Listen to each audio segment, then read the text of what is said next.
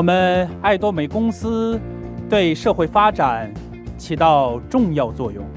判断自己要不要去经营爱多美的一大基准，就是如果认为自己即使不经营爱多美商务，也需要使用爱多美产品，那么就可以来经营爱多美。如果说，自己所用的产品比爱多美更加的物美价廉，那么就绝对不要来经营我们爱多美商务。若勉强来经营爱多美的话，很难取得成功。为什么呢？因为人都是有良心的，把自己都不愿意用的产品去卖给别人，这种生意可做不长。但如果认为自己即使不经营爱多美商务，也愿意青睐爱多美那物美价廉的产品，那么各位就可以来经营爱多美。一旦决定投身从事爱多美，就应该把目标定为踏上成功之路。如果说从事爱多美只能做到养家糊口，那不叫成功，只能算是敷衍度日。所以各位一定要踏上成功之路。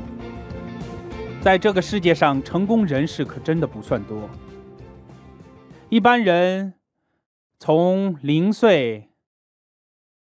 到三十岁都在为人生做准备工作，做什么准备呢？那就是学习。从三十岁到六十岁，人们都会去工作，然后从六十岁到九十岁呢，就迎来了人生的晚年养老。也就是说，我们学习、工作、养老各需要三十年。但最近有一则传闻让我们人心惶惶：人类寿命有望达到一百二十岁。看来我们将面临的养老问题十分严峻呐。年老之后，若既没有钱又有病，那该将是一种多么痛苦的余生啊！所以，我们应该预先找到一条可以避免这种痛苦的人生道路。依据相关统计表明，只有百分之一的人成为成功人士，即成为一名富翁。由此，我们可以知道，一百个人中只会产生一个有钱人，只有四个人不必担心生计问题，其余百分之九十五的人其实都过着一个失败的人生。为何大多数人？辛辛苦苦一辈子为过上一个成功的人生，起早贪黑的努力打拼，而仍然无法获得一个成功人生呢？曾经有一位叫卡内基的人士非常关注这个问题。卡内基出生于一个贫寒的家庭，后来成为叱咤风云的钢铁大王。虽然离世甚早，但他所创立的卡内基基金会却仍在不断进行慈善事业。卡内基曾经思考过这样一个问题：如果自己再次出生于那个贫寒家庭，是否还会像今天这般有所成就呢？亦或今生这般成就不过是出于运气好而已？思来想去，他得出一个结论：即便在那个贫寒之家重生十次、重生百次，自己仍然会像今生这般成为一名成功人士的。这是因为他已经掌握了成功的法则、成功的方法。他了解到，之所以很多人无法取得成功，是因为不知道成功的方法、成功的法则。后来，他下定决心要把成功的秘诀告诉他人，因此他最后从事的事业就是把成功的法则、成功的方法告诉更多的人。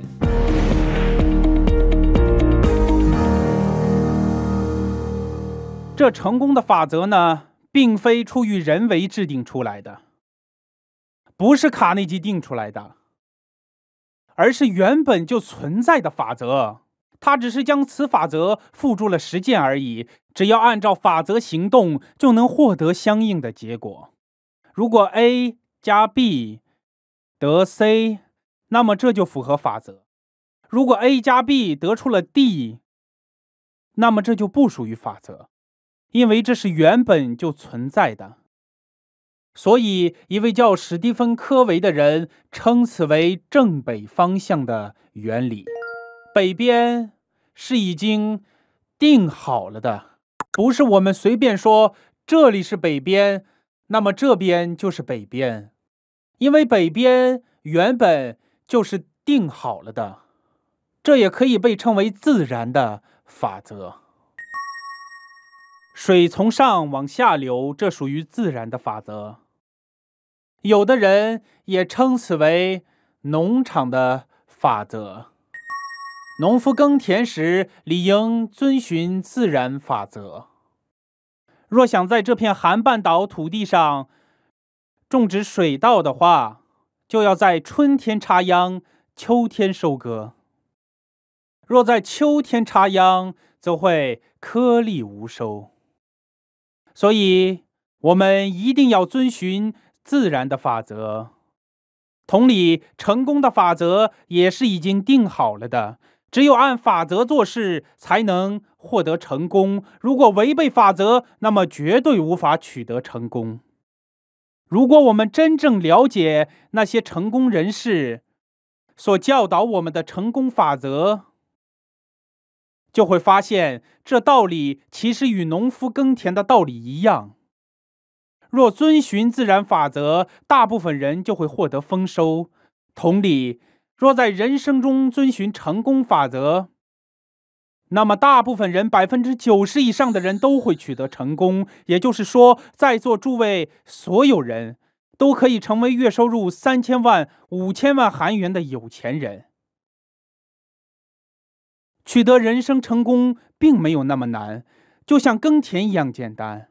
好，我们说，农夫耕田时应该最先做什么呢？有人说准备稻种，有人说购买水田，有人说准备农机具，有人说准备农用资金。总之，众说纷纭。农夫应该最先做的，乃是盘算好收获什么，收获多少。若想收获十麻袋大米的话，那么他就要去准备稻种，或是购买水田。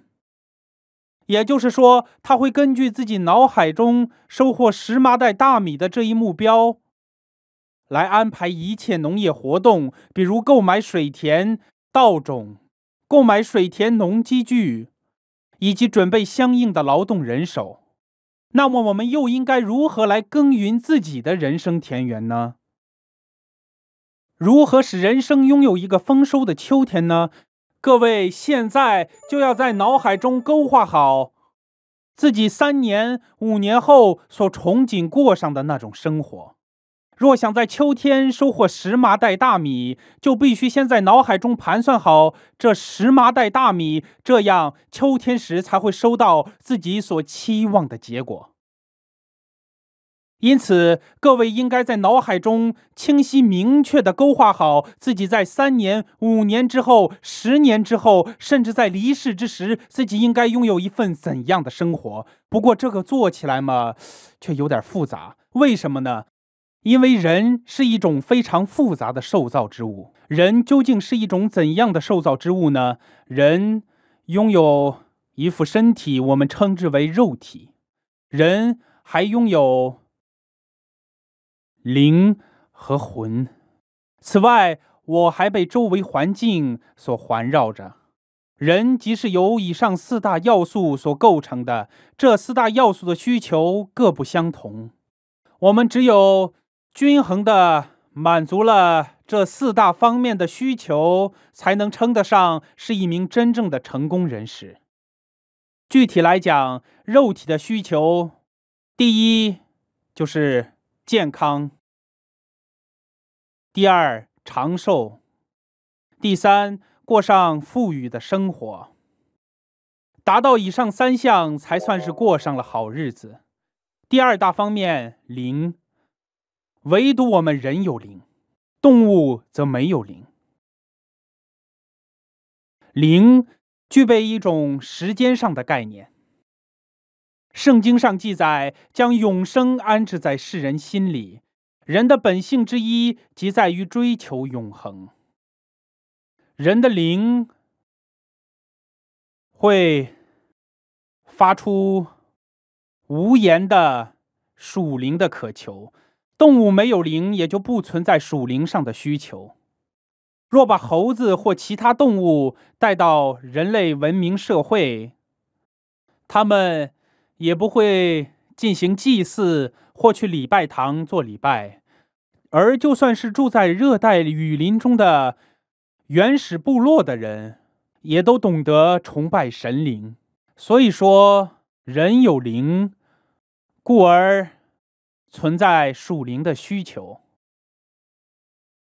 灵的需求还包括去爱他人，同时得到来自他人的爱，这种爱的需求。而魂的需求则表现为探索未知世界的求知欲，因此魂具有求知学习的需求。同时，感情上的喜怒哀乐也属于魂的范畴。最后，我们对于周围的环境及社会、自然环境具有一种愿意做出贡献的欲求，希望过上做出贡献的生活。我们只有过上均衡满足这四大需求的生活，方可以称得上实现了成功人生。但这四大需求并非是彼此孤立性的存在，这四大需求理应完美的融汇在一起。只有这样，我们的人生才会迸发出真正的热忱。但若将其彼此分离开来，人生就会索然无味，甚至会发出这样的疑问：即便过上好日子又如何？大凡心中怀有这般怀疑的人，都是那种心中没有爱的人。我们之所以要过上好日子，是因为我们都有自己所心爱的人。我若过不上好日子，儿女就会跟我一道受苦。父母都在殷切盼望着我们都能够过上好日子，何为父母之心呢？孩子能过上好日子，自己这辈子才安心。在座的诸位男士，请注意，你们过不上好日子，妻子就会跟你一起受苦。各位女士。你们也要过上好日子，使丈夫不必每天都工作的好辛苦。请大胆向丈夫承诺，从现在开始，你好好休息，尽管去享受以前虽然想但未能享受过的个人爱好生活吧。你不是爱打高尔夫吗？从今天起，每天都出去打高尔夫吧。你不是喜欢钓鱼吗？今后每天都去钓鱼吧。孩子们，你们都不喜欢上学吧？别去了，去旅行吧。我们之所以要过上好日子，乃是因为有自己所爱的人。例如，我们若有条件，大可以对子女表示：你们无需去操心赚钱，妈妈会为你们准备好这辈子所需要的钱，你们这辈子也不用为钱而担忧。不用为赚钱而工作，大胆去过为他人谋幸福的生活吧，或找一份自己真正喜欢的事做，哪怕赚不到钱也没关系，只要你喜欢就好。各位若成为这样的妈妈，孩子们会不会更欢喜呢？肯定会更欢喜的。在儿女面前，为人父母者就该做到这一步。儿女呢，其实以后更会赚钱的，因为他们所从事的乃是他人不去做的领域，也就不存在激烈的竞争。因此，我们要改变头脑意识，我们一定要过上好日子。通过求知学习，就会明白，我们就应该过上好日子，因为周围还有很多需要我们帮助的人。我每当看到电视上那些不幸的孩童时，总会难过的流泪。每当此时，儿子们又会嘲笑我：“爸，你怎么又哭了？”不要想着日后有钱时再去帮助他们，若那样，则无法帮助他们的。因为当成为有钱人后，我们就会天天忙着花钱，因此要在自己力所能及的范围内，尽量去帮助别人。公司创立初期，尽管我们自己也很穷，但还是去努力帮助他人。一开始只能捐赠几十万而已。当时我们选择帮助附近生活贫困的小学生、中学生、高中生以及大学生各两人。我们会帮助他们支付学费，并腌制泡菜赠送给附近的老人。我们总是尽力做一些，呃，力所能及的事情。未能做出这种社会贡献，我们也一定要成功。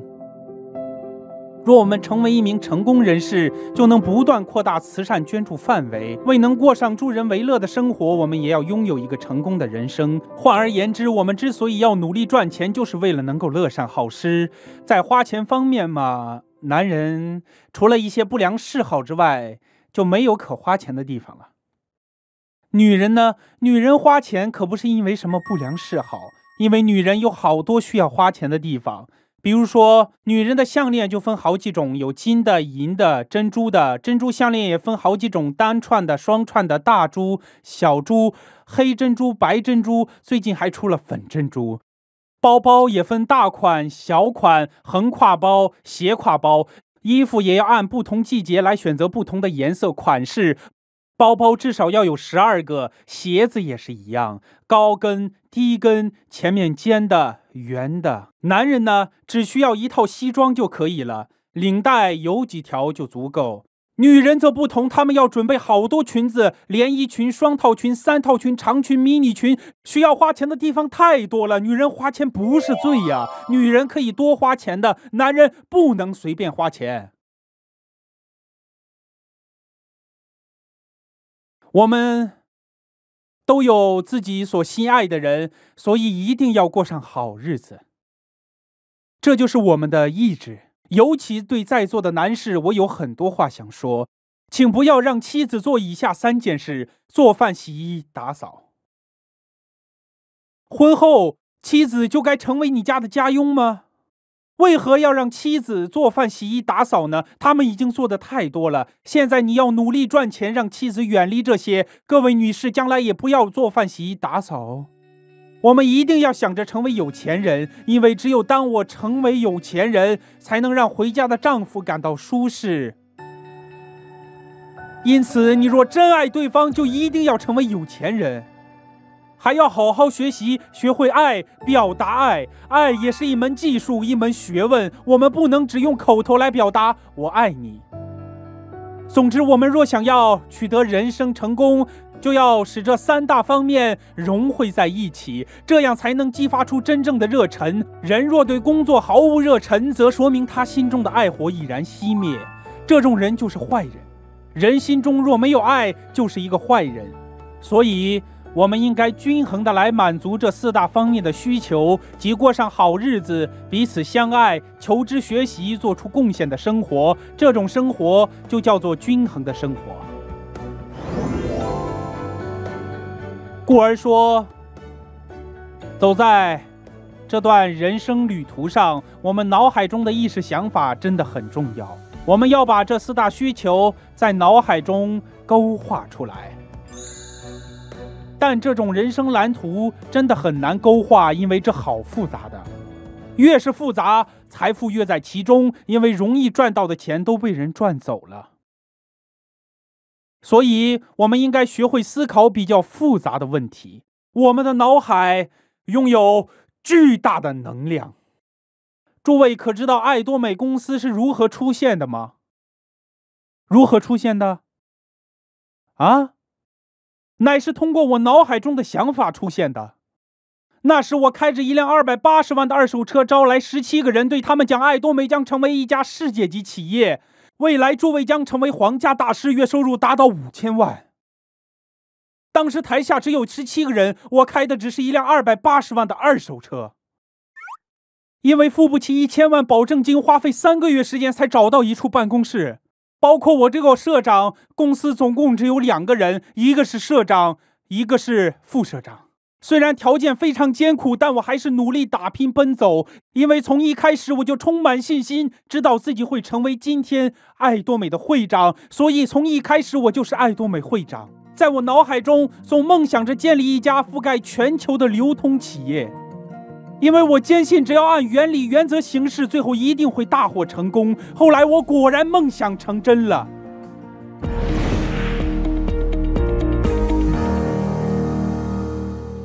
我应该把自己所憧憬的梦想生活，在脑海中拍摄成一部人生电影，名字就叫《某某的人生剧本》。具体格式如下：这里有一个圈圈。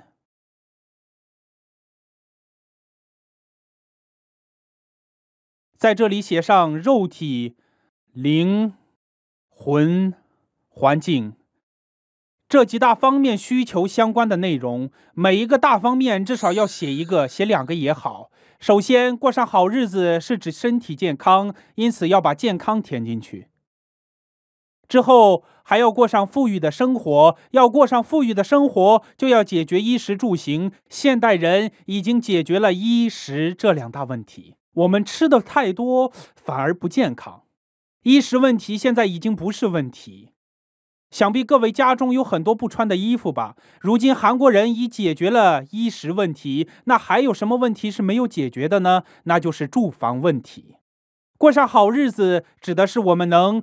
住进一栋好房子，健康的去生活。时下我们的生活已经离不开汽车，即使住房再好，如果整天还是需要挤大巴去上班买菜的话，这又算什么好日子呢？故此，一定要拥有汽车。下一项，彼此相爱。我们不仅要尽孝，呃，还要为儿女做好各方面准备。在求知学习这个领域，不仅包括教育子女，还可以写上我们自己想进修学习的内容。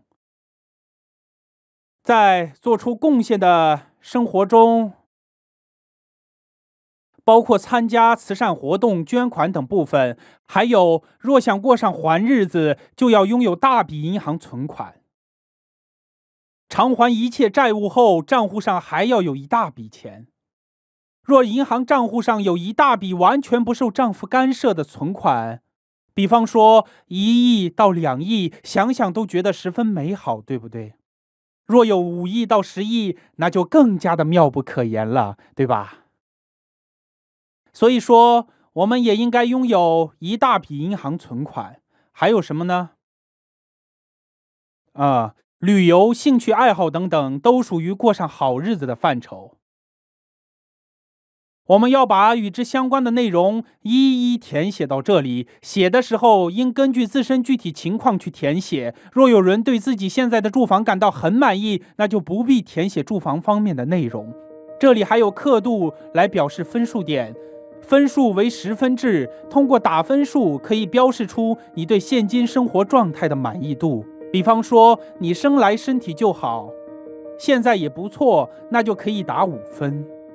你若想住进七十平的公寓楼，而现在的房子只有三十五平，那分数就很低了。慈善义工几乎为零，存款几乎为零。打完分数后，将其连接起来，把所有的项目分数相连之后，就会形成一副人生车轮的模样来。若车轮模样又小又瘪，那就说明人生非常不如意。若每个项目都是满分，那就会连接成一副又大又圆的人生车轮。请看一下自己的人生车轮有多么小，多么憋，使其变得又大又圆，就是我们的人生目标。若想获得满分十分的话，比方说要怎样健身，怎样解决住房问题，怎样解决汽车、尽孝、子女教育、慈善义工、存款、旅游、兴趣爱好等问题，我们都要具体细致的写在这些方框里，不能只大概性的写下一栋好房子，一栋大房子。房产中介问我们：“你想买哪种房子？”我们若回答“好房子”或“大房子”，对方一听就知道不是诚心买房的。写的时候应该清晰标明到底是公寓楼还是独栋楼，亦或个人别墅，并且还要清晰地标明出面积。例如，填写住房的时候，最好应该具有阶段性。譬如现在所住的是全租房，保证金呢？比方说是三亿。我们可以写上到何时为止，我要搬进价值十亿的五十平公寓楼，还要标明该公寓楼的售价。第一，要写的很具体；第二，要标出明确数字，数字包括日期与金额。我们一定要这么写。如果把这些填写完毕，就会明白自己梦想住进什么样的房子。譬如现在虽然住在五十平的公寓楼里，但我所梦想的公寓楼至少要有五个房间，这样面积最少是七十平。汽车，譬如现在开的是索纳塔，但非常想开上奔驰 S。若认为奔驰 S 太大，那就可以改成奔驰 SL 五五零。就这样填写即可。还有人说要开保时捷。总之，要在脑海中清晰明确地把这辆车勾画出来。接下来写如何对父母尽孝。请不要觉得只给父母零花钱就算是尽孝了。只给父母二三十万就算是尽孝吗？难道不应该孝敬他们生活吗？生活费的话，每月至少应该孝敬父母二三百万，因为老年人需要花钱的地方更多。若尚未解决自己的生活费，就难以孝敬父母。那么，我们可以从经常打电话做起啊！每周给父母打一次电话，人人都能做到吧？这样做，父母会很高兴的。我们总要做力所能及的事情，同时向着最终目标前进。那些总说有钱后再做慈善的人，真赚钱后也不会做的，因为届时他们会忙着到处花钱消费。因为在自己本身就很难的时候，我们若不从现在就养成去帮助更贫困人士的习惯，将来赚了钱也不会做慈善的。故而，我们从现在起就要多参与慈善活动。总之，我们应该在脑海中将自己所憧憬的美好人生拍成一部栩栩如生的人生电影。我刚说过，填写时应该标明具体数字，在这里一一填写上所需要的金额，就会出现一个具体性的金额数字。一对比就会发现，月收入三百至七百万根本不够，这点钱无法成就我所憧憬的生活，这点钱也无法激发我对成功人生的热忱，最终只会对自己妥协。我就喜欢当一个小市民，小市民好什么好？一点都不好。我就做过三年小市民，当时公司倒闭，我搬进一处月租五十万的房子住了三年，这段经历告诉我，小市民一点都不幸福。如果诸位天天梦想着成为有钱人、成为社会精英，就一定会梦想成真的。因为那些有钱人当初皆因心怀这种梦想，才最后走向成功的。各位说自己的梦想是成为有钱人，谁会阻止呢？请大胆宣布出来吧！将来我要成为一名月收入三千万、五千万的有钱人。朋友，你听不听我劝是你的自由。不过以后可不要怪我事先没有告诉你，做爱多美可以赚钱哦。请放胆高声宣布出来吧！我们就是要敢于做出这种豪言壮语，不应该成为那种在内心深处不断质疑、嘲笑自己无法做到的人。以前，在那段贫苦艰难的岁月里，我就梦想着成为有钱人。不过，那时我对自己是否能成为有钱人，并没有百分之一百的信心。当时我身患重病，也无法正常工作，只有区区百分之一的念头想着要成为有钱人，其余百分之九十九的念头全部都充满着沮丧。希望即使再渺茫，尽管只有百分之一，我们也要朝着希望迈进。请设想一下，自己被困在一个山洞中，眼前一片漆黑，周围都是岩壁，远处隐隐约约能够看到山洞的入口。此时，我们就应该向着远处洞口那一团微弱的火光，一步一步地前进，走出这片黑暗。我当时的心境就是这样子的：人生几乎陷入绝望，看不到出路。自己也觉得自己无法东山再起，但我只能选择去相信自己，相信自己终能走出这片黑暗。越是没有希望的时候，越是应当怀有希望。若连自己都不相信自己，人生就真的彻底完了。各位，我告诉你们，没有希望时，唯一的希望就是拥有希望。在那段人生最低谷的时期。我曾经百次千次对自己重复这句话：我绝对不能让自己陷入绝望，因为我有自己所心爱的家人。若我不振作起来，妻子将依靠谁呢？孩子也会跟我一起受苦，父母也会因此万分悲伤。就这样，那是我为了自己所心爱的人，绝对不能让自己陷入人生绝望的困境。过去，或许各位的心中也都充满了黑暗与绝望，但今天既然来参加这场成功学院研讨会，发现了爱多美这道人生曙光，那么就请就此坚信不疑，坚信自己的人生终将改变，坚信通过爱多美能够成就人生梦想。只要我们坚守这份信心，毫不动摇，一路走下去，最后终将梦想成真，踏上成功之路。我们所打拼的目标，并非具有百分之百的成功可能性，即便只有百分之一的可能性。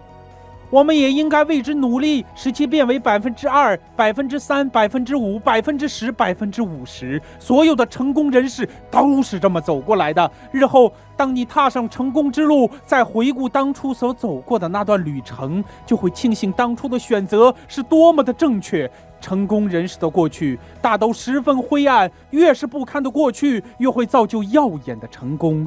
你若觉得现如今的生活十分不堪的话，那么，待日后取得成功之时，就可以对别人说，在那么艰苦的环境下，我还是坚持到底，一路走了过来，终于拥有了今天这番成就。届时将多么令人自豪啊！请把眼下的困境当作是成功之路上的磨练吧。当初我就是这么认为的。按时，我开着一辆二百八十万的二手嘉华车，脑中所想的却是日后成功时，当我回顾开着这辆车到处去奔走的场景，相信一定会蛮感慨的。